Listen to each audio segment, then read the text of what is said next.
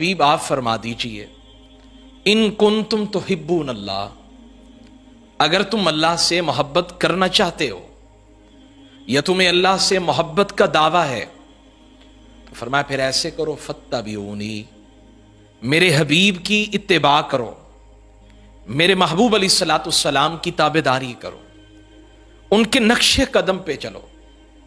युहबिब कुमुल्लाह और जब तुम ये अमल हसीन करोगे ना, अल्लाह तुमसे मोहब्बत फरमाएगा। वयक फिर लकुम जुनूबकुम, और तुम्हारे गुनाहों को बख्श दिया जाएगा। वल्लाहु गफूर रहीम, अल्लाह गफूर भी है और अल्लाह रहीम भी है। अजीज़ा ने गिरामी, बेहतरीन दुआ जो कुरान पाक के अंदर है, जो मेरे आका सल्लल्लाहु अलैहि वसल्लम ने बयान फरमाई। जिसमें हर भलाई आ जाती है, जिसमें हर खैर आ जाती है।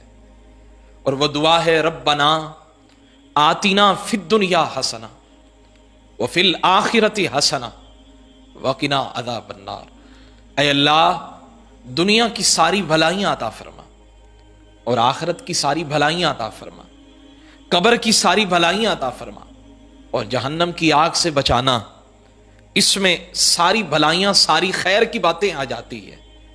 जब तवाफ़ काबा किया जाता है तो यह दुआ पढ़ी जाती है।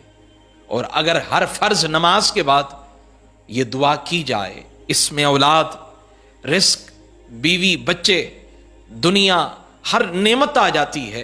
काश के अगर यह समझ आ जाए कि इस दुआ के अंदर कायनात की सारी खैर की बातें अल्लाह ने जमा कर दी।